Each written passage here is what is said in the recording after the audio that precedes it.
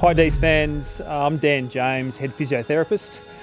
Out of the game on Friday night, we had one casualty, which was Ed Langdon, who had a concussion in the last quarter.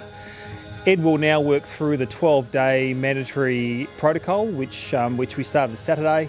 Fortunately, we've got an extra extra time following this week's game, so he should be ready for the Collingwood game on round 13. Training today, Bailey Laurie integrated the skills for the first time uh, moved really well. So we expect Bailey now to be ready in three to four weeks, so we should see him post by. Joel Smith, he also integrated training for the first time and Joel looked at his explosive best and we expect Joel to be ready in two to three weeks following his MCL injury. Deakyn Smith, he 10 days ago suffered a low-grade syndesmosis injury. He's out of the cam boot now and, uh, and, and, working through a, a good strength phase.